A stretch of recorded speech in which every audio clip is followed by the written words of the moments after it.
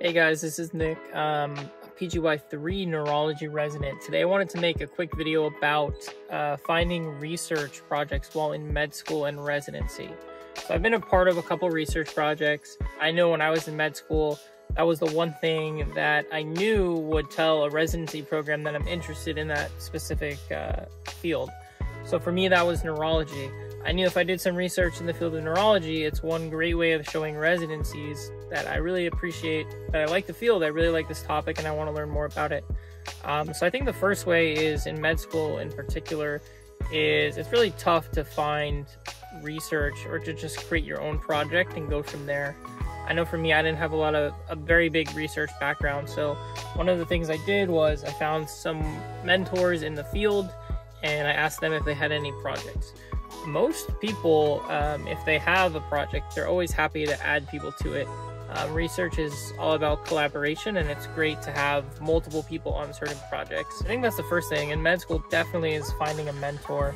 I think the second thing about uh, publications while you're in med school, there's a lot of narrative medicine uh, journals where you could publish. So it might not be research, it might not be like hard science, but you can really publish stories, poems, things like that. That actually looks really great on your residency application. Uh, you can write about uh, specific things. I know for me, I actually had a poem published that was about Parkinson's disease. I was able to talk about that. I wrote it in my on my application. So that's that's one way that you can show programs that hey, like I want to publish things.